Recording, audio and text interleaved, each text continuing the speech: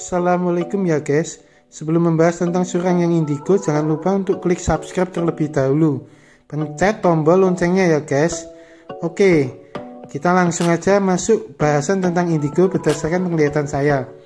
Indigo adalah seorang yang mendapatkan karunia atau gift dari Allah Sang Maha Pencipta sejak lahir.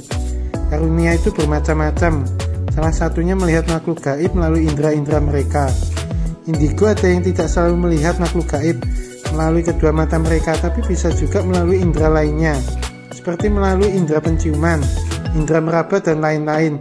Yang pasti mereka para indigo bisa tahu wujud dari makhluk gaib apa pun. Oke ya guys, di sini saya akan membahas empat tipe indigo secara umum. Lebih rincinya satu persatu nantinya. Indigo itu ada empat tipe. Yang pertama indigo humanis, yang kedua indigo konseptual, yang ketiga indigo seniman, yang keempat indigo interdimensional. Saya akan mulai bahas dari yang pertama dulu. Indigo humanis. Indigo humanis pada dasarnya juga memiliki kemampuan melihat gaib melalui indera-inderanya. Bisa indera penglihatan, indera penciuman, dan indera-indera lainnya. Indigo humanis memiliki kemampuan yang khusus dirasa, yang sangatlah tajam sekali terutama di komunikasi ya guys. Indigo ini bisa mengetahui perasaan orang lain dengan mudah dan sangat tajam, tepat menebak hati orang lain dari penampilan atau wajah orang yang dilihatnya. Bahkan bisa melihat masa lalu dari orang yang dilihatnya. Bahkan bisa memprediksi orang yang dilihatnya di masa depan bisa menjadi apa. Indigo ini juga memiliki kemampuan yang unik lainnya, yaitu berkomunikasi dengan hewan, tumbuhan, dan makhluk hidup lainnya, bahkan makhluk gaib, tapi jarang yang bisa mencapainya untuk mendapatkan kemampuan itu ya guys, seperti berkomunikasi dengan hewan. Dan sangatlah berat dan penuh penderitaan-penderitaan hidup yang harus dijalani untuk itu semua. Indigo humanis sangatlah memiliki rasa empati yang sangatlah tinggi ya guys. Sangat suka berbagi dan suka menolong. Yang kadang dirinya itu pun banyak ya guys beban masalah.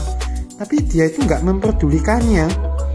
Indigo humanis ini rasa sosialnya sangat tinggi peka sekali, mudah perasa, dan sangatlah sensitif. Hingga kadang sangat suka menyendiri sendiri. Bahkan kadang berlebihan hingga menutup diri protektif sekali ya guys. Suka dengan alam mereka ini. Indigo manis memiliki raga tubuh yang kuat dan sangatlah prima kondisinya.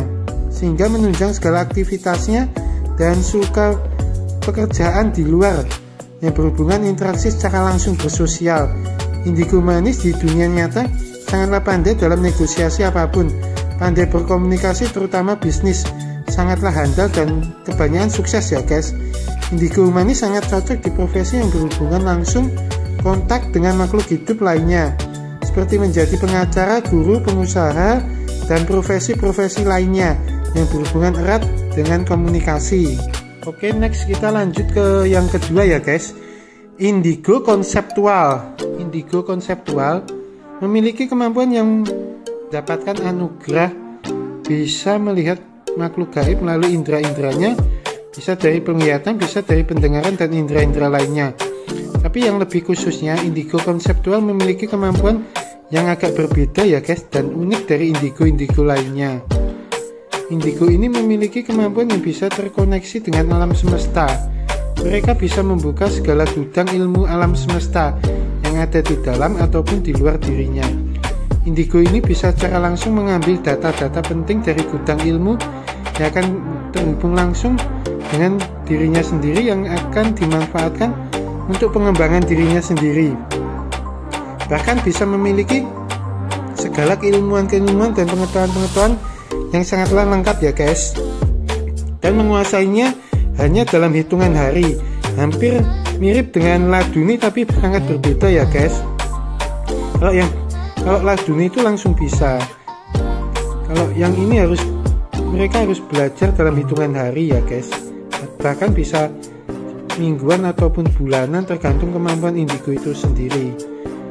Kalau indigo in konseptual ini ya guys, kalau mempelajari sendiri itu secara otodidak ya guys Bahkan indigo konseptual sangatlah ahli dalam bidang tentang keilmuan energi di jagat alam semesta ini. Bahkan dia bisa tahu segala ilmu-ilmu yang dia inginkan Bahkan dia bisa menciptakan keilmuan sendiri. Ilmu apa pun yang dia mau akan mudah dia dapatkan ilmu dengan itu dengan sendirinya ya guys. Dan indigo konseptual tidak terlalu memikirkan makhluk gaib. Walaupun dia juga berhubungan erat lebih cenderung langsung terhubung dirinya dengan sang maha pencipta ya guys. Indigo konseptual ini bahkan bisa menembus masa lampau, masa sekarang dan masa depan.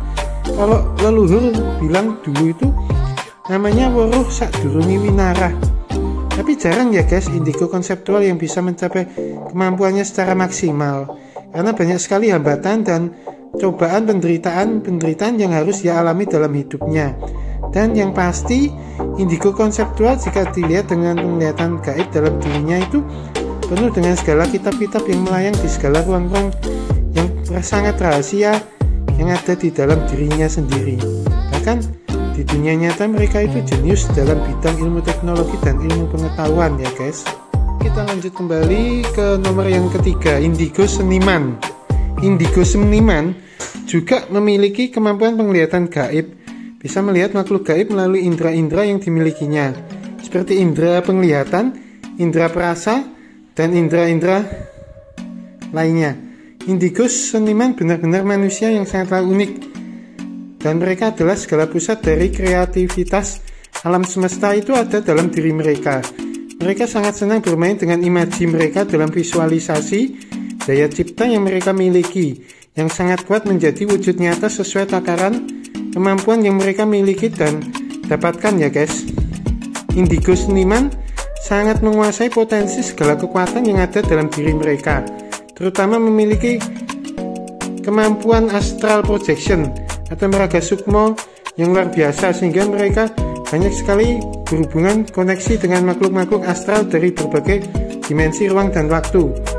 Indigo seniman juga sangat pandai dalam membuat portal-portal gaib di berbagai dimensi alam gaib yang dapat dengan mudah berkunjung di mana pun dan dapat mudah terkoneksi dengan mereka sendiri ya guys. Mereka pandai sekali dalam melakukan hal healing, menyembuhkan siapa pun, mereka juga sangat kuat dalam pertempuran gaib dan banyak sekali memiliki benda-benda pusaka gaib yang ada melekat dalam diri mereka. Indigo seniman juga sangat mahir dalam penggunaan racun gaib untuk mengatasi makhluk gaib jahat yang sangat bandel yang mengganggu manusia. Indigo seniman sangat piawai ya guys dalam menghadapi makhluk astral yang jahat.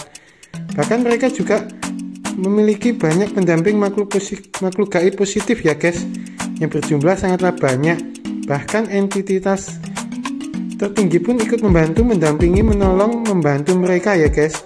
Para indigo seniman di jalannya Allah secara ikhlas untuk membantu manusia siapa pun yang membutuhkan bantuan mereka. Mereka itu juga sangat jago menguasai teknik-teknik bertempur secara astral, terutama perisai gaib. Mereka indigo seniman sangat memiliki jiwa kebebasan dalam dirinya jiwa karakter mereka terutama watak sangat nyeleneh ya guys aneh dan nyentrik Ber berbeda sekali dengan penampilan pada umumnya manusia normal mereka itu tidak mau terkekang oleh siapa pun. Tidak mau diatur dikekang secara terus menerus bahkan mereka itu suka mengekspresikan jiwa-jiwa mereka dalam berbagai media-media seperti media menari, media lukisan, media pahatan dalam bentuk apa pun, bisa batu, kayu, dan lain-lainnya. Sehingga apa pun yang mereka lakukan di dunia nyata yang mereka hasilkan itu benar-benar memiliki energi positif yang sangatlah besar di dalam bentuk atau hasil-hasil karya yang mereka ciptakan dan wujudkan. Mereka menyukai kebebasan ya guys. Mereka sangat suka sekali dengan peninggalan-peninggalan leluhur. Bahkan pusaka-pusaka seperti keris, tombak, dan yang lain sebagainya. Bahkan batu mustika mereka juga ikut sangat senang mengoleksinya. Sebagian banyak dimiliki oleh mereka, karena dengan memilikinya, mereka mudah untuk terhubung dengan leluhur-leluhur di zaman lampau ya guys, dan bisa mendapatkan segala informasi tentang mereka, bahkan keilmuan-keilmuan mereka para, para leluhur bisa mereka miliki dengan mudah dalam diri mereka sendiri ya guys. Begitulah kita lanjutkan kembali ke Nomor yang 4 ya guys, indigo interdimensional. Indigo interdimensional adalah indigo yang memiliki kemampuan yang lebih dari gabungan semua tipe-tipe indigo. Humanis, konseptual, dan seniman ada dalam dirinya. Tapi ada juga yang hanya dua gabungan saja, tergantung wadah dan anugerah dari Sang Maha Pencipta di dalam tubuh indigo itu sendiri. Indigo interdimensional ini memiliki kemampuan lebih dari indigo tipe lainnya, karena memiliki gabungan dari semua tipe indigo atau beberapa gabungan tipe saja. Mereka indigo interdimensional pasti akan mengalami peristiwa spiritual yang sangat-sangat luar biasa yang akan mengubah hidupnya selamanya yang di mana peristiwa itu akan bisa membangkitkan daya potensi lain yang tersembunyi selain potensi yang sudah ada dalam dirinya seperti misal mati suri, tekanan emosi yang luar biasa bisa dari bully, kecelakaan, benturan di kepala, dan hal-hal contoh lainnya. Indigo interdimensional juga memiliki penglihatan gaib dan indera-indera lainnya sangat aktif ya guys. Mereka mudah terkoneksi dengan alam semesta, terutama alam pikiran manusia lain sehingga bisa memunculkan ide-ide baru, gagasan-gagasan, pemahaman baru yang belum pernah ada sama sekali. Indigo interdimensional ini pada dasarnya memiliki kemampuan khusus ya guys yang tidak dimiliki indigo tipe apa pun. Mereka ini bisa mengambil lewat alam semesta dan menguasai segala kemampuan indigo tipe apa pun dari alam pikiran mereka tergantung dari wadah dan kemampuan yang mereka miliki ya guys. Mereka indigo ini tidak suka dengan keramaian juga, suka menyendiri. Pikiran dan kebiasaan mereka suka dengan sesuatu yang tak bisa diduga siapa pun. Mereka suka dengan memberi pertanyaan dan ide gagasan yang luar biasa sekali yang di luar pemikiran manusia biasa pada umumnya. Sehingga kadang-kadang mereka dianggap manusia lain, aneh dan gak nyambung ya guys. Indigo interdimensional ini juga bisa menggali informasi dan pengetahuan di masa lalu ataupun di masa depan yang akan digunakan untuk dirinya sendiri dan pengembangan ide gagasan yang sangat-sangatlah berbeda untuk diwujudkan di dunia nyata. Misal seperti menciptakan teknologi yang bisa menghubungkan antar dimensi secara paralel, membuat alat teleportasi dan ide-ide brilian yang luar biasa yang di mana di masa depan itu sangatlah jauh akan tercipta. Dan ada dan ada bahkan ide-ide mereka itu bisa mendobrak menciptakan tatanan hidup yang baru dan yang lebih baik dari tatanan yang sudah ada. Tentu dengan semua potensi yang sudah ada bahkan bisa menguasai tipe indigo lain indigo interdimensional benar-benar sangatlah luar biasa ya guys kemampuannya. Tapi jarang sekali indigo interdimensional yang menguasai semua tipe-tipe indigo lainnya. Dan indigo interdimensional terkoneksi langsung ya guys terhubung dengan sang maha pencipta. Sangatlah dekat hubungan mereka. Sehingga kadang-kadang mereka itu lebih mengabaikan makhluk gaib yang ada walaupun mereka punya hak kewajiban seperti manusia juga dialaminya mereka sendiri di alam gaib. Mereka nggak begitu care tapi ya mereka juga tahu kalau mereka itu ada. Ya istilahnya lebih sekedar hanya menghormati saja ya guys sebagai sesama ciptaannya Allah ya.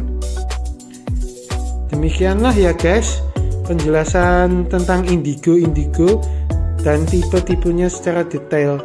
Moga penjelasan ini bisa bermanfaat buat semuanya ya guys dan jangan lupa untuk like dan komennya. Selalu stay in here di channelnya Mbah Tirto Vlog yang selalu penuh kejutan. Terima kasih ya guys. Assalamualaikum warahmatullahi wabarakatuh.